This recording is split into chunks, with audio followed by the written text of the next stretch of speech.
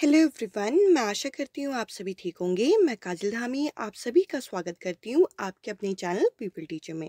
कल यूटैट की परीक्षा हो गई है। आज की इस वीडियो में हम लोग यूटैट पेपर वन के सीडीपी के क्वेश्चंस का एनालिसिस करेंगे। अगर आप चाहें तो अपने आंसर्स मैच कर सकते हैं। ये जो पेपर सेट मैंने ले रखा है, ये पेपर सेट ए है। आप चाहें तो अपने सेट के साथ मैच कर सकते हैं। क्वेश्चंस आगे पीछे आपको मिलेंगे, पर सारे क्वेश्चन आपको मिल जाएँगे। पहला प्रश्न हम लोगों से पूछा गया था कि कौन सी ऐसी थ्योरी है जिसके अंदर कोगनेटिव डेवलपमेंट यानी कि संज्ञानात्मक विकास के चार अलग अलग अवस्थाएँ दे रखी हैं? और हमें यहाँ पे चार अलग अलग ऑप्शन दे रखे थे। पहला था जीन प्याजे की थ्योरी, अगला था ली बाइगॉट्सकी की थ्योरी या फिर कोलबर्ग की थ्योरी या फिर बेंड्यूरा की थ्योरी। तो देखिए, इस क्वेश्चन का जो करेक्ट आंसर है, वो है जीन प्याजे का संज्ञानात्मक विकास, जिसके अंदर हमें चार अलग अलग चरण बताए गए इसके अलावा ली बाइगॉट्सकी ने हमें जोन ऑफ़ प्रॉक्सिमल डेवलपमेंट का कॉन्सेप्ट दिया था तो ये ऑप्शन यहाँ पे है नहीं। इसके अलावा कोलबर्ग की थ्योरी देखें तो कोलबर्ग की थ्योरी में तीन अलग अलग स्टेजेस हैं, तीन अलग अलग अवस्थाएँ तो ये ऑप्शन भी यहाँ पे आंसर होगा नहीं। और बेंड्यूरा ने हमें सोशल लर्निंग थ्योरी दी थी तो देखिए, ये भी यहाँ पे ऑप्शन नहीं होगा। इस क्वेश्चन का ए जो ऑप्शन है, ये करेक्ट आंसर है। अब चलिए अगले क्वेश्चन को जरा डिस्कस करें। अगले प्रश्न में हमसे पूछा गया था कि इनमें से कौन सी गतिविधि स्थायी बुद्धि से संबंधित है? स्पेक्ट्रल इंटेलिजेंस से एसोसिएट करती हुई एक्टिविटी आपसे पूछी गई थी। इस क्वेश्चन का बी जो ऑप्शन है, ये करेक्ट आंसर है।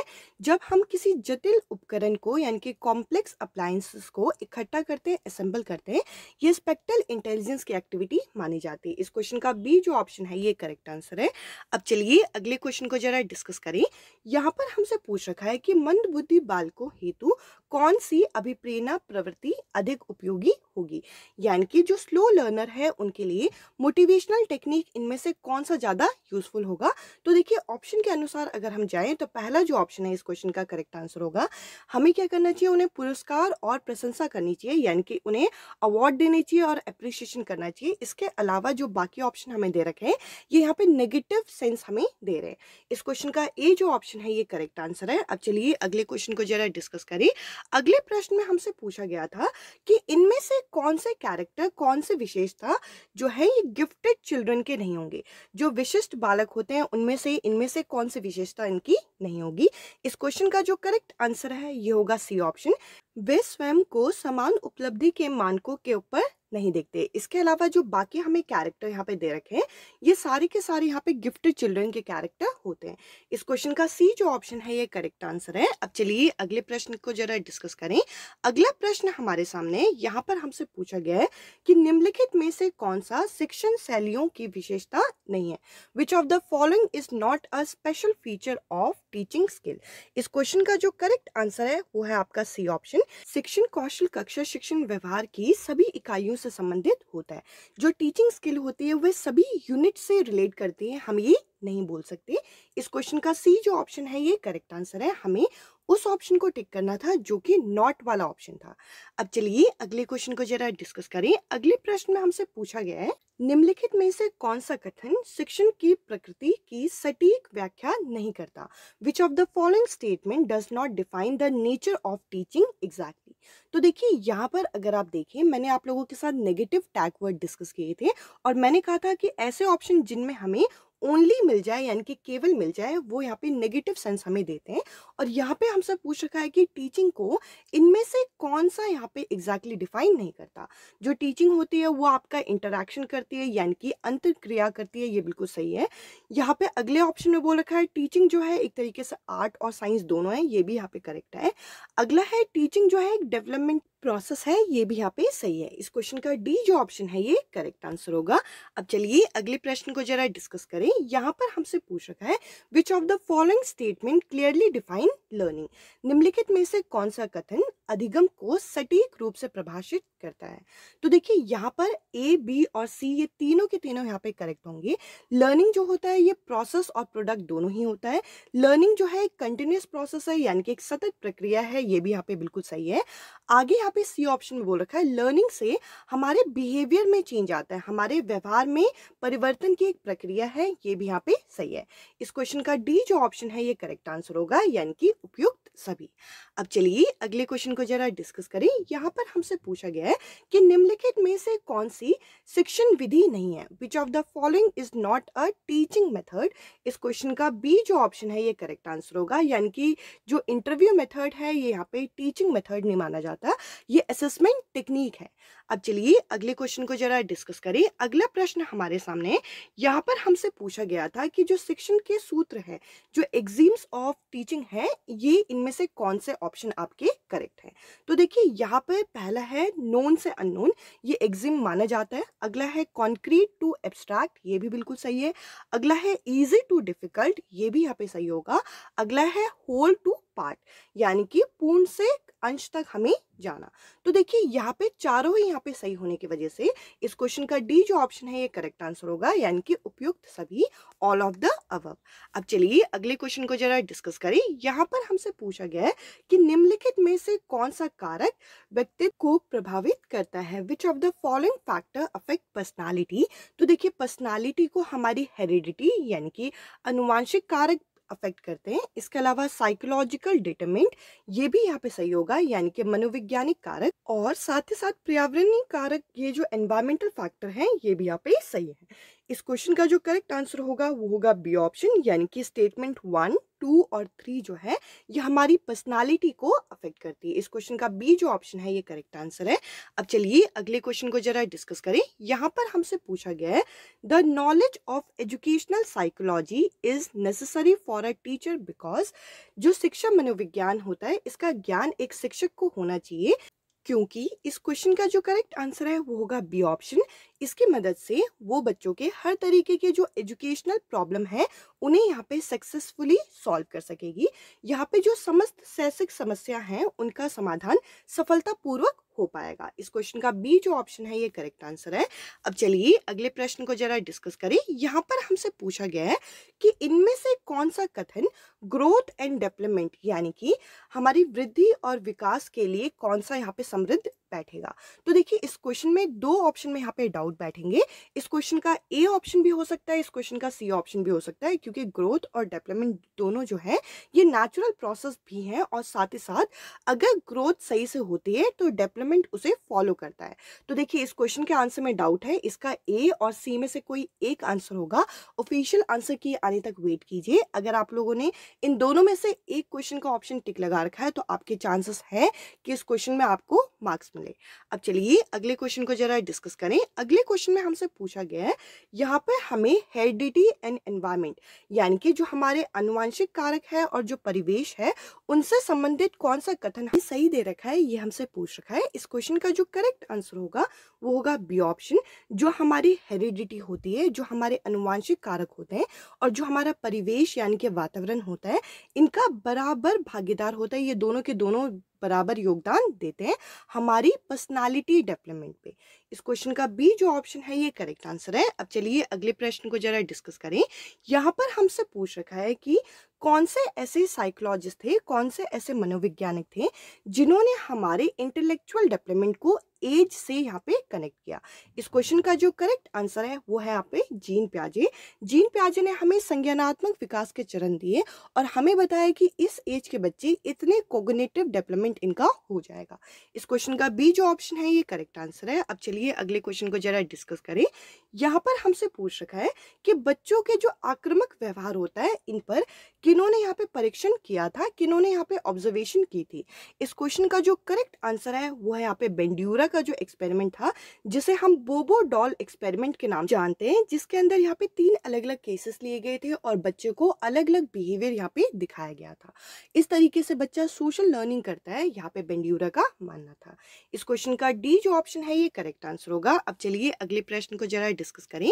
काफ़ी आसान प्रश्न ये पूछा गया था, यहाँ पे हमसे पूछा गया है कि कोलबर्ग की जो मोरल डेवलपमेंट की थ्योरी है, कोलबर्ग की जो नैतिक विकास का सिद्धांत है, इनमें से कौन सी अवस्था उससे संबंधित नहीं है? तो देखिए, ये जो बी सी और डी दे रखा है, ये यहाँ पे कोलबर्ग की थ्योरी की स्टेजेस हैं, जबकि ये जो पहला ऑप्शन है सेंसरी मोटर यानी कि संवेद्य प्रेरक, ये जो है यहाँ पे जीन प्याजे की थ्योरी का स्टेज है। इस क्वेश्चन का ए जो ऑप्शन है ये? करेक्ट आंसर होगा। अब चलिए अगले क्वेश्चन को जरा डिस्कस करें। यहाँ पे थोड़ा सा ये कंटेंट घुमा दिया था, बट पूछी काफ़ी आसान चीज़ है। यहाँ पे बोल रखा है कि एक बच्चा है जो कि मैथमेटिकल प्रॉब्लम गणितज्ञ समस्या का समाधान कर रहा है और एक पजल में आके वो अटक गया है और उसके बाद वो उसके बारे में सोचता है और सोचने के बाद यहाँ पे सडनली उसको सोल्यूशन उसके माइंड में आ जाता है। जब हमारे माइंड में सडनली किसी चीज़ का सोल्यूशन आ जाए तो इसके लिए एक शब्द का प्रयोग किया जाता है जो कि इनसाइट थ्योरी या अलग से इनसाइट थ्योरी बनाई भी गई है। यह है हमारी सूचक प्रकार अधिगम। इस क्वेश्चन का सी जो ऑप्शन है ये करेक्ट आंसर होगा। अब चलिए अगले क्वेश्चन को जरा डिस्कस करें। अगले प्रश्न में हमसे पूछ रखा था कि बच्चों के अंदर जो अधिगम शैलियाँ पाई जाती है, जो लर्निंग स्टाइल पाई जाती है, उनमें जो डिफरेंसेस होते हैं, उनमें जो अंतर होते हैं, वो क्या बताते हैं? देखिए लर्निंग स्टाइल हमें बताता है कि हम किसी भी कारक के बारे में, किसी भी स्ट्रैटेजी के बारे में हम किस तरीके से थिंकिंग रखते हैं, किस तरीके से चिंतन करते हैं। इस क्वेश्चन का बी जो ऑप्शन है, ये करेक्ट आंसर होगा। अब चलिए अगले क्वेश्चन को जरा डिस्कस करें। काफ़ी आसान क्वेश्चन यहाँ पे पूछा गया था। यहाँ पे पूछ रखा है जो हमारी मानसिक स्वस्थता होती है, यानी कि जो हमारी गुड मेंटल हेल्थ होती है, इसमें से कौन सा यहाँ पे कैरेक्टर नहीं होगा, कौन सा इसकी योग्यता नहीं होगी। तो देखिए, यहाँ पे बैलेंस लाइफ होना ये काफ़ी अच्छा कैरेक्टर माना जाता है तो देखिए ये ऑप्शन नहीं हो सकता। अगला है कि हम लोग रियलिटी को एक्सेप्ट करें, यानी कि हमारे आसपास जो हो रहा है, वास्तविकता को हम अपनाएँ, ये भी बिल्कुल सही है। तो देखिए, हमें नॉट वाले ऑप्शन को टिक करना है, इसलिए ये वाले ऑप्शन तो हो नहीं सकते। लास्ट ऑप्शन है कि हमें एक रेगुलर लाइफ जीनी चाहिए, ये भी बिल्कुल सही है। और इस क्वेश्चन का जो करेक्ट आंसर होगा, वो होगा आपका सी ऑप्शन। जो सीखी बात ना, यानी कि जब हम हवा में बातें करते हैं, ये एक गुड मेंटल हेल्थ का कैरेक्टर नहीं माना जाता। बॉस्टिंग जो है इस क्वेश्चन का करेक्ट आंसर होगा।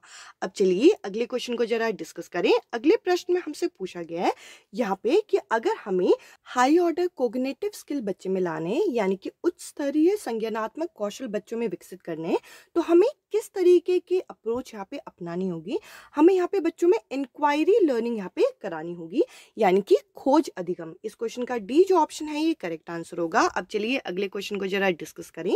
यहाँ पर हमसे पूछ रखा है कि अगर हमें बच्चों के अंदर प्रॉब्लम सॉल्विंग अप्रोच को बढ़ावा देना है। यानी कि बच्चा किसी समस्या का समाधान करने के लिए योग्य हो जाए, इसको हमें पोषण करना है तो हमें क्या करना चाहिए? तो देखिए, यहाँ पे जो करेक्ट आंसर होगा, हमें बच्चे को कुछ ऐसे समस्या देनी चाहिए, जो कि रियल लाइफ सिचुएशन पे आधारित हो। इस क्वेश्चन का बी जो ऑप्शन है, ये करेक्ट आंसर होगा। अब चलिए अगले क्वेश्चन को डिस्कस करें। अभी मैं आप लोगों के साथ वो सारे ऑप्शन नहीं डिस्कस कर रही हूँ, जो कि क्वेश्चन का आंसर नहीं हो सकते। अब देखिए, यहाँ पर हम लोगों से इस क्वेश्चन में भी यहाँ पे डाउट बैठेगा। यहाँ पे हमें पूछ रखा है कि करिकुलम जो हमारा पाठ्यक्रम होता है, वे क्या होता है? तो देखिए, इस क्वेश्चन का आंसर ए भी हो सकता है, इस क्वेश्चन का आंसर सी भी हो सकता है। अगर हम परिभाषा के अनुसार जाएँ तो इस क्वेश्चन का आंसर सी होना चाहिए कि एक तरीके से डिस्क्राइब करता है प्रिस्क्राइब करता है हमारे सिलेबस कोर्स को, या फिर ए भी हो सकता है कि एक तरीके से सारे एक्सपीरियंस है, जो कि बच्चे को मिलते हैं, जो वो स्कूल में गेन करता है। इस क्वेश्चन का ए और सी ऑप्शन में यहाँ पे डाउट है। अब चलिए अगले क्वेश्चन को जरा डिस्कस करें। यहाँ पर हमसे पूछ रखा है, एन आई वी एच, ये किससे आपका रिलेटेड है? ये हमारी विजुअल हैंडीकैप से रिलेटेड होता है, यानी कि दृष्टि बांधिता से। अब चलिए अगले क्वेश्चन को जरा डिस्कस करें। यहाँ पर हमसे पूछा गया है प्रीलैंग्वेज डेफनेस जो होती है, ये क्या होती है? यानी कि पूर्व भाषाई बधिरता क्या होती है? तो देखिए यहाँ पे प्री वर्ड लगा दिया गया है पूर्व। तो देखिए, जब हम भाषा सीखने से पहले, भाषा अर्जन से पहले, जब हमें किसी लैंग्वेज में दिक्कत हो, इस क्वेश्चन का ए जो ऑप्शन है, ये करेक्ट आंसर होगा, यानी कि भाषा अर्जन के पूर्व बिफोर एक्विजिशन ऑफ़ लैंग्वेज अब चलिए अगले क्वेश्चन को जरा डिस्कस करें। यहाँ पर हमसे पूछ रखा है कि अगर हमारी कक्षा में कोई ऐसे बच्चे हैं जो कि हेयरिंग एम्पेयर प्रवण बाध्यता है तो हमें अपनी कक्षा कक्ष को किस तरीके से यहाँ पे अरेंज करना है?